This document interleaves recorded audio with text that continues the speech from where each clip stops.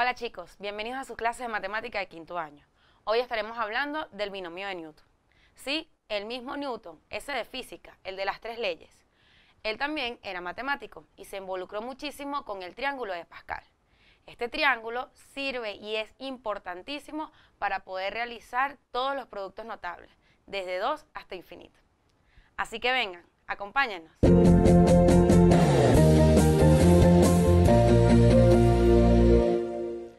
Luego de que Newton tenía el triángulo de Pascal, decidió generalizarlo. Cuando tenemos un binomio elevado a la n, eso siempre es igual a n en 0 a la n más n en 1 a, a la n menos 1 por b más n en 2 más